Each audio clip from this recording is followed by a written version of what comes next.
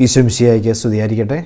തെനാക് തപസ്സുകാലം മൂന്നാമത്തെ ഞായറാഴ്ച ലൂക്കായുടെ സുവിശേഷം പതിമൂന്നാം അധ്യായം ഒന്ന് മുതൽ ഒൻപത് വരെയുള്ള വാക്യങ്ങൾ. നമ്മളിവിടെ ഈശ്വനാഥൻ രണ്ട് സംഭവങ്ങൾ എടുത്തു പറഞ്ഞുകൊണ്ട് മാനസാന്തരപ്പെടുന്നില്ലെങ്കിൽ നിങ്ങൾക്കും നാശം അല്ലെങ്കിൽ മാനസാന്തരപ്പെടുന്നില്ലെങ്കിൽ നിങ്ങളെല്ലാവരും അതുപോലെ നശിക്കും എന്ന് പറഞ്ഞുകൊണ്ടാണ് ഒരു രണ്ട് സംഭവങ്ങൾ അവതരിപ്പിക്കുന്നത്. എന്നിട്ട് ഈശ്വനാഥന്റെ അത്യവൃക്ഷത്തിന്റെ ഫലം തരാത്ത അവസ്ഥയെക്കുറിച്ച് കൂടി പറഞ്ഞു വയ്ക്കുന്നു. ഇതാണ് നമ്മൾ ഇന്നത്തെ സുവിശേഷ ഭാഗത്ത് കാണുന്നത്.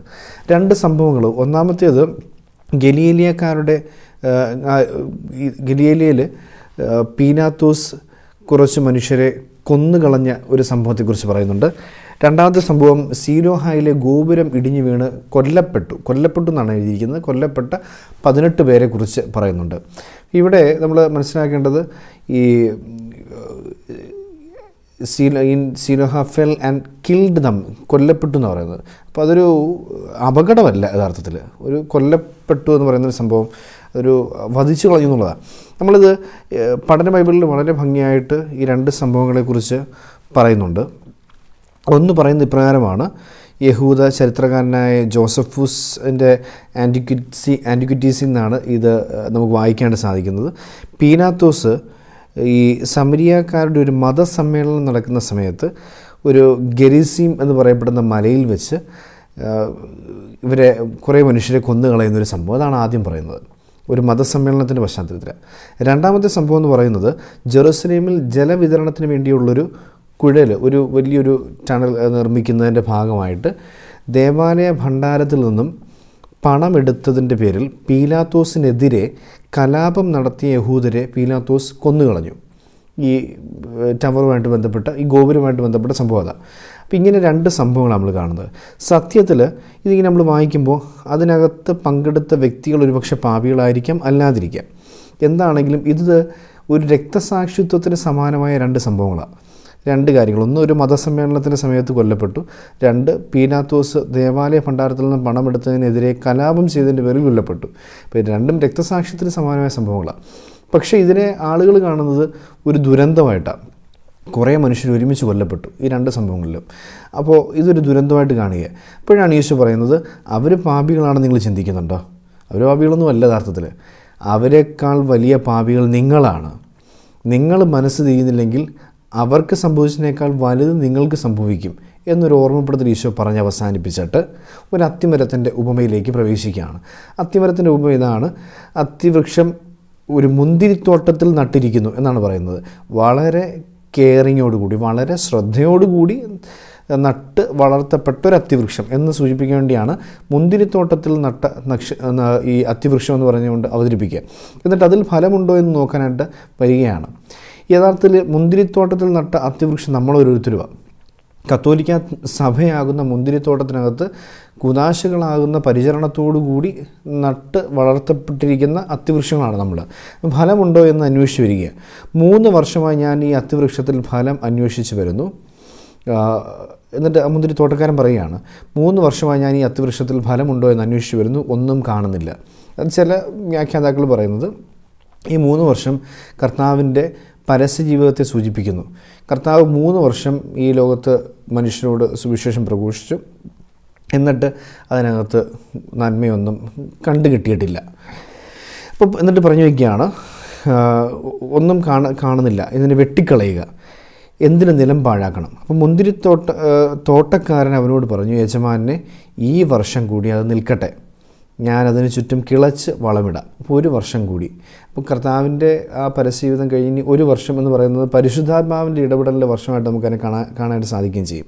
അപ്പോൾ പരിശുദ്ധാത്മ ഇടപെടൽ അഥവാ വചനം കൊണ്ടുള്ള കുതാശകൾ കൊണ്ടുള്ള ഇടപെടലിലൂടെ കിളച്ച് വളമിടപ്പെട്ട് അയാളിൽ നിന്നും ഫലത്തിന് വേണ്ടി കാത്തിരിക്കുന്ന കരുണയുടെ ഇടപെടലിനെയാണ് നമുക്കിവിടെ കാണാൻ സാധിക്കുക. നമ്മളിതിവിടെ ഒന്ന് നിർത്തിയിട്ട് നമുക്ക് ചിന്തിക്കാൻ സാധിക്കുന്നൊരു വസ്തുത. അത്തിവൃക്ഷം. ബൈബിളിൽ വളരെ പ്രധാനമായിട്ട് നമുക്ക് കാണാൻ സാധിക്കുന്ന ഒരു വൃക്ഷമാണ്. അതിന് പല അർത്ഥങ്ങൾ പല പുസ്തകങ്ങളിൽ പഴയ നിയമത്തിലൊക്കെ നമുക്ക് വായിച്ചെടുക്കാൻ സാധിക്കും. നമ്മൾ സുവിശേഷത്തിലേക്ക് കടന്നു വരുമ്പോൾ മത്തായുടെയും മർക്കോസിന്റെയും സുവിശേഷത്തിൽ ഒരുപോലെ അവതരിപ്പിക്കപ്പെടുന്ന രണ്ട് സംഭവങ്ങൾ അത്തിവൃക്ഷവുമായിട്ട് ബന്ധപ്പെട്ടുണ്ട്. ആ സംഭവം ഇതാണ്. കർത്താവ് ഇങ്ങനെ വിശന്നിട്ട് ഇങ്ങനെ പറയുന്നത് വിശന്നിട്ട് പഴമുണ്ടോ എന്ന് അന്വേഷിച്ച ഒരു അരിയിലേക്ക് വരികയാണ്. പച്ചില ചാർത്തിങ്ങനെ പച്ചിലകൾ ഇങ്ങനെ നിറഞ്ഞു നിൽക്കുന്ന കാണുമ്പോഴത്തേക്ക് അതിൽ പഴമുണ്ടെന്ന് വിചാരിച്ച് അതിനരികിൽ ചെന്ന് അന്വേഷിക്കുമ്പോൾ പഴമില്ല. പഴമില്ല എന്ന് മനസ്സിലാക്കിയിട്ട് ഈശോ ആ മരത്തെ ശപിക്കുന്നു. പഴം ഇല്ലാതിരുന്നിട്ടും പഴം ഉള്ളതുപോലെ നിന്ന അത്തിവൃക്ഷത്തെ ശപിക്കുന്നു. ഈ മത്തയുടെ സുവിശേഷത്തിൽ പറയുന്ന അനുസരിച്ചാണെങ്കിൽ ആ നിമിഷം തന്നെ അത്തിവൃക്ഷം ഉണങ്ങിപ്പോയി. അങ്ങനെയാണ് പറഞ്ഞു വയ്ക്കുക മത്തായി ഇരുപത്തി ഒന്നാം അധ്യായത്തിൽ നമ്മൾ വായിക്കുന്നുണ്ട്. ആ നിമിഷം തന്നെ ആ വൃക്ഷം ഉണങ്ങിപ്പോയി.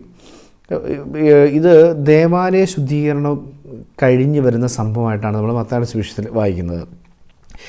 ഇരുപത്തിയൊന്നാം അധ്യായം ഇരുപതാം വാക്യം. ഇത് കണ്ട് ശിഷ്യന്മാർ അത്ഭുതപ്പെട്ടു. ആ അത്യവൃക്ഷം ആ നിമിഷ ആ നിമിഷത്തിൽ തന്നെ ഉണങ്ങിപ്പോയി. എന്നിട്ട് മർക്കോസിന്റെ സുവിശേഷത്തിലേക്ക് വരുമ്പോൾ നമ്മൾ ഇതേ സംഭവം വീണ്ടും വായിക്കുന്നു. ഇവിടെ ഈ അത്തിവൃക്ഷത്തെ ശപിക്കുന്ന സംഭവം ദേവാലയം ശുദ്ധീകരിക്കുന്നതിന് തൊട്ട് മുമ്പ് നടക്കുന്ന സംഭവമാണ്. ദേവാലയ ശുദ്ധീകരണം കഴിഞ്ഞ് പുറത്തേക്ക് വരുമ്പോഴത്തേക്ക് അവർ ഈ അത്തിമരം ഉണങ്ങി നിൽക്കുന്നതായിട്ട് കാണുകയും ചെയ്യുന്നു. അപ്പോൾ ഇവിടെ ഒരു കാര്യം കൂടി ചേർത്ത് വയ്ക്കുന്നുണ്ട് ഇവിടെ ഈ മർക്കോസ് സുവിശേഷകൻ സുവിശേഷ വിധവും പറയുന്നത് ഇങ്ങനെയാണ്. അത് അത്തി അത്തിപ്പഴത്തിന്റെ കാലമല്ലായിരുന്നു എന്ന് കൂടി എഴുതിയിരിക്കുന്നു. അത്തിപ്പഴത്തിന്റെ കാലമല്ല അത്തിപ്പഴം അതിനകത്ത് ഉണ്ടാവത്തില്ല. ആ സമയത്ത് ഉണ്ടാവത്തില്ല. അത് കർത്താവിനും അറിയാം. പക്ഷേ കണ്ടാൽ അത്തിപ്പഴം ഉണ്ട് എന്ന രീതിയിൽ അഭിനയിച്ചു. കാപഢ്യം കപടത ഹിപ്പോക്രസി അത് നമുക്ക് കാണാൻ സാധിക്കുക. കർത്താവ് ഏറ്റവും കൂടുതൽ വെറുക്കുന്ന തിന്മ. അപ്പോൾ അതാണ് അത്തിമരത്തെ സംബന്ധിക്കുന്ന മത്തായുടെയും മർക്കൂസിന്റെയും സുവിശേഷത്തിൽ നമുക്ക് വായിക്കാൻ സാധിക്കുന്ന ഭാഗം എന്ന് പറയപ്പെടുന്നത്. കപടത ഒഴിവാക്കുക കർത്താവിന്റെ ശാപം വലിച്ചു വയ്ക്കാതിരിക്കുക നമ്മൾ ലൂക്കാട് സുവിശേഷത്തിലേക്ക് വരുമ്പോഴാണ് നമ്മളിപ്പോൾ ആദ്യം വായിച്ചു കേട്ട സംഭവം. പതിമൂന്നാം അധ്യായത്തിൽ നിന്ന് വായിക്കുന്നത് ഫലം തരാത്ത അത്യവൃക്ഷം ഫലം നൽകാതെ നിൽക്കുന്ന ഒരു അത്യവൃക്ഷമാണ് ഞാൻ നിങ്ങളുമെങ്കിൽ. നമ്മൾ ചിന്തിക്കുക ചുവട് കിളച്ച് വളമിടുക കർത്താവിന്റെ കൃപകൾ നമ്മൾ കൃപകൾ നമ്മളിലേക്ക് കടന്നു വന്ന് ഫലം പുറപ്പെടുവിക്കുന്ന മറ്റുള്ളവർക്ക് കാരുണ്യത്തിന്റെയും കർത്താവിനോട് സ്നേഹത്തിന്റെയും ഭക്തിയുടെയും ഒക്കെ ഫലം പുറപ്പെടുവിക്കുന്ന നന്മയുടെയും പുണ്യങ്ങളുടെയും ഫലം പുറപ്പെടുവിക്കുന്ന അത്തിമരങ്ങളായി തീരുവാനായിട്ട് കർത്താവ് നമ്മളെ ക്ഷണിക്കുകയാണ് ലൂക്കായുടെ സുവിശേഷത്തിലൂടെ. അതാണ് നമ്മൾ ഈ തപസ്സിന്റെ പശ്ചാത്തലത്തിൽ ചിന്തിക്കേണ്ട രണ്ടാമത്തെ വസ്തുത. മത്തായി മർക്കോസും ഓർമ്മിപ്പിക്കുന്നത് കപടത ഒഴിവാക്കുക അല്ലെങ്കിൽ ശാപം വലിച്ചു വെക്കേണ്ടി വരും. ലൂക്ക ഓർമ്മിപ്പിക്കുന്നത് ഈ കൃത്യമായിട്ടും വേണ്ട കാര്യങ്ങൾ വീണ്ടും നമ്മളിലേക്ക് സ്വീകരിച്ചുകൊണ്ട് ഫലം പുറപ്പെടുവിക്കുന്ന മനുഷ്യനായി തീരുക. ഇനി യോഹന്നാന്റെ സുവിശേഷത്തിലേക്ക് വരുമ്പോൾ അത്തിപ്പഴ അത്തിപരം നമ്മൾ എവിടെ കാണുന്നത് ചോദിച്ചാൽ ഒന്നാം അധ്യായത്തിൽ നമ്മൾ കാണുന്നത്. നഥാനിയൽ എന്ന് പറയപ്പെടുന്ന മനുഷ്യനുമായിട്ട് ബന്ധപ്പെടാണ് ആണ് നമ്മൾ അത്തിമരം കാണുന്നത്. നമ്മൾ ഈ നഥാനിയലിന്റെ അരികിൽ ചെന്ന പീലിപ്പോസ് നത്താനിയലും തമ്മിൽ സംസാരിക്കുകയാണ്. പീലിപ്പോസ് നത്താനിയലിനെ കണ്ട് അവനോട് പറയുകയാണ് നിയമത്തിൽ മോശയും നിയമത്തിൽ മോശയും അതുപോലെ പ്രവാചകന്മാരും ആരെ പറ്റി എഴുതിയിരിക്കുന്നു? അവനെ ജോസഫിന്റെ മകൻ നസ്രത്തിലുള്ള എന്നുള്ള യേശുവിനെ ഞങ്ങൾ കണ്ടു. എന്ന് നത്താനിയലിനോട് പറയും. നത്താനിയൽ തിരിച്ചു ചോദിക്കുകയാണ് നസ്രത്തിൽ നിന്നും എന്തെങ്കിലും നന്മയുണ്ടാകുമോ? നസ്ര നസ്രായനാണ് ഈശോ എന്ന് നത്താനിയലിനറിയാം അതാണ് ചോദിക്കുന്നത്. അപ്പോൾ അത് കഴിയുമ്പോഴത്തേക്ക് ഉടനെ തന്നെ നഥാനിയലിന്റെ അരികിലേക്ക് ഈശോ നടന്നു വരികയാണ്. നഥാനിയൽ നഥാനിയൽ ഈശോയുടെ അരികിലേക്ക് കടന്നു വരുമ്പോൾ ഈശോ അത് കാണുകയാണ്. നഥാനിയൽ തന്റെ അടുത്തേക്ക് വരുന്നത് കണ്ട് യേശു അവനെപ്പറ്റി പറയുകയാണ് ഇതാ കാപട്യമില്ലാത്ത ഒരു യഥാർത്ഥ ഇസ്രായേൽക്കാരൻ. ഇതാ നിഷ്കപടനായ ഒരു യഥാർത്ഥ ഇസ്രായേൽക്കാരൻ. ഇത് പറയുമ്പോഴത്തേക്ക് നഥാനിയൽ അവനോട് പറയുകയാണ് നീ എന്നെ എങ്ങനെ അറിയുന്നു? അതിന്റെ മറുപടിയാണ് നമ്മൾ അത്തിമരവുമായിട്ട് ബന്ധപ്പെട്ട് കാണുന്നത്. ഈശോ പറയുകയാണ് പീലിപ്പോസ് നിന്നെ വിളിക്കുന്നതിന് മുമ്പ് നീ അത്തിമരത്തിന്റെ ചുവട്ടിലിരിക്കുമ്പോൾ ഞാൻ നിന്നെ കണ്ടു. നീ അത്തിമരത്തിന്റെ ചുവട്ടിലിരിക്കുമ്പോൾ ഞാൻ നിന്നെ കണ്ടു. പഠന ബൈബിൾ പറയുന്നതനുസരിച്ചാണെങ്കിൽ യഹൂദ റബ്ബിമാൻ അത്തിമരത്തിന്റെ ചുവട്ടിൽ നിന്നാണ് തോറ നിയമം പഠിപ്പിച്ചിരുന്നുവെന്ന് പാരമ്പര്യം നമുക്ക് മനസ്സിലാക്കാൻ സാധിക്കും. സമാധാനപരമായ ഒരു അന്തരീക്ഷം ധ്യാന ചിന്തയ്ക്ക് പറ്റിയ അന്തരീക്ഷം അല്ലെങ്കിൽ പ്രാർത്ഥന പ്രാർത്ഥനയ്ക്ക് വേണ്ടി നമ്മൾ നമ്മുടെ ഭാരതീയ പശ്ചാത്തലത്തിലൊക്കെ ആൽമര ചുവട് ചുവട്ടിലിരുന്ന് ധ്യാനിക്കുന്നു എന്നൊക്കെ പറയുന്നത് തത്തുല്യമായൊരു സംഭവമാണ്. നമുക്ക് അത്തിമരത്തിന്റെ ചുവട്ടിലിരുന്ന് നിയമം പഠിക്കുക പ്രാർത്ഥിക്കുക ധ്യാനിക്കുക പഠിപ്പിക്കുക എന്നൊക്കെ പറയപ്പെടുന്ന കാര്യങ്ങൾ നമുക്ക് മനസ്സിലാക്കാൻ സാധിക്കുക.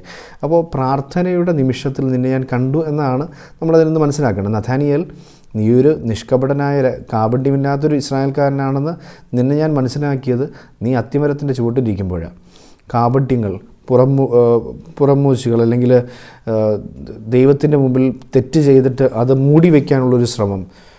അതാണ് അത്തിപ്പര അത്തിമരവുമായിട്ട് അത്തി മരവുമായിട്ട് ബന്ധപ്പെട്ട് നമുക്ക് ഉൽപ്പത്തിയിൽ കാണാൻ സാധിക്കുക. ഉൽപ്പത്തി മൂന്നാം അധ്യായം ഏഴാം വാക്യം നമ്മൾ വായിക്കുന്നുണ്ട്. ഈ പാപം ചെയ്ത ആദിമാതാപിതാക്കൾ ദൈവത്തിന്റെ മുമ്പിലേക്ക് വരുമ്പോൾ തങ്ങൾ നഗ്നരാണ് എന്ന് തിരിച്ചറിഞ്ഞിട്ട് അത്തിമരത്തിന്റെ ഇലകളെടുത്ത് തുന്നി ചേർത്ത് വസ്ത്രം ഉണ്ടാക്കി ധരിച്ചു നമ്മൾ വായിക്കുന്നുണ്ട്. അപ്പം ഈ അത്തിമരം എന്നൊക്കെ പറയുന്ന അർത്ഥത്തിൽ ആ ഒരു കാപട്യത്തിന്റെയൊക്കെ അല്ലെങ്കിൽ നാണക്കേട് മറയ്ക്കാൻ വേണ്ടി എന്നൊക്കെയുള്ള ഒരു കാഴ്ചപ്പാട് നമുക്ക് മനസ്സിലാക്കാൻ സാധിക്കും. അത് നമ്മൾ ആദ്യം പറഞ്ഞു കാപട്യം ഇല ഇങ്ങനെ നിറഞ്ഞു നിൽക്കുകയാണ് പഴവില്ല അതിനെ ശപിക്കുകയാണ്. രണ്ടാമത് പറഞ്ഞു വയ്ക്കുന്നു ലൂക്കായുടെ സുവിശേഷം നമ്മൾ വായിക്കുന്നതാണ് ചുവട് കിളച്ച് വളമിട്ട് നോക്ക് ഫലം ഉണ്ടാവട്ടെ. അതിനൊരു അവസരം കൊടുക്കുകയാണ്. കരുണയുടെ കർത്താവിന്റെ ഇടപെടലാണ് നമുക്ക് മനസ്സിലാക്കാൻ സാധിക്കുക. കരുണയുടെ കർത്താവ് ഇടപെട്ടുകൊണ്ട് പറയുകയാണ് ഫലമുണ്ടാവട്ടെ നമ്മൾ മൂന്നാമത് നമ്മൾ വായിക്കുന്ന ഇതാണ് നിന്നെ ഞാൻ തിരിച്ചറിഞ്ഞു. അത്തിമരത്തിന്റെ ചുവട്ടിൽ നീ പ്രാർത്ഥിച്ചുകൊണ്ടിരുന്നപ്പോൾ ഞാൻ തിരിച്ചറിഞ്ഞു. ദൈവത്തിന് നമ്മെ തിരിച്ചറിയാനായിട്ട് സാധിക്കും. പ്രാർത്ഥനയിൽ തുറഞ്ഞു തുറന്നു വെച്ചൊരു ഹൃദയം നമുക്കുണ്ടെങ്കിൽ. പ്രാർത്ഥനാപൂർവം തുറന്നു വെക്കുന്നൊരു ഹൃദയത്തിന്റെ ഹൃദയത്തിന്റെ അടയാളമാണ് അത്തിമരത്തിന്റെ ചുവട്ടിലിരിക്കുക എന്ന് പറയുന്നത്. ധ്യാനാത്മകമായിരിക്കുക. അങ്ങനെ ഇരിക്കുന്ന ഒരാളെ കർത്താവ് അയാളുടെ ഹൃദയം കാണുന്നു നമുക്ക് മനസ്സിലാക്കാൻ സാധിക്കും. അപ്പോൾ ഈ തപസ്സിന്റെ പശ്ചാത്തലത്തിൽ ഈ മൂന്ന് അത്തിമരങ്ങളെ നമുക്ക് ധ്യാനിക്കാം. ഈ മൂന്ന് അത്തിമരങ്ങളെ നമുക്ക് ചിന്തിക്കാം. ഒന്നാമത്തെ അത്തിമരം ഓർപ്പിക്കുന്നതാണ് കപടത ഒഴിവാക്കുക അല്ലാത്ത പക്ഷം നീ ശാപം ഏറ്റുവാങ്ങി ഉണങ്ങിക്കരിഞ്ഞു പോകുന്നവനായി മാറും. രണ്ടാമത്തെ അത്തിമരം ഓർപ്പിക്കുന്ന ഇതാണ് നിന്റെ ചുവട് കളിച്ച് വളമിട്ട് ഫലം നൽകുന്ന അത്യമരമായി നീ മാറാൻ കരുണയുടെ കർത്താവ് നിനക്കൊരവസരം കൂടി തന്നിരിക്കുന്നു. അതാണ് ഈ തപസ്സുകാലം. അത് പ്രയോജനപ്പെടുത്തുക. മൂന്നാമത്തെ അത്യമരം നമ്മളെ ഓർമ്മിപ്പിക്കുന്നു. നീ പ്രാർത്ഥനയുടെ മനുഷ്യനായി മാറിയാൽ കർത്താവിന്റെ മുമ്പിൽ തുറന്നു വെച്ചൊരു ഹൃദയം നിനക്കുണ്ടാവും. നിന്നെ കർത്താവ് കാണും കടാക്ഷിക്കും. ഇതാണ് നമുക്ക് മൂന്ന് അത്തിമരങ്ങൾ നമുക്ക് മനസ്സിലാക്കാൻ സാധിക്കുക. തപസ്സുകാലത്തിൽ ഈ അത്തിമരങ്ങൾ മൂന്ന് അത്തിമരങ്ങൾ കുരിശുമരത്തിലേക്ക് നമ്മളെ ചേർത്ത് വയ്ക്കുന്ന വഴിയായി മാറട്ടെ അല്ലെങ്കിൽ ചേർത്ത് വയ്ക്കുന്ന കുരിശുമരത്തിലേക്ക് നമ്മൾ ചേർത്ത് വയ്ക്കാനുള്ള ഉപാധികളായിട്ട് ഈ മൂന്ന് അത്തിമരങ്ങൾ മാറട്ടെ. ദൈവം നമ്മെ അനുഗ്രഹിക്കട്ടെ.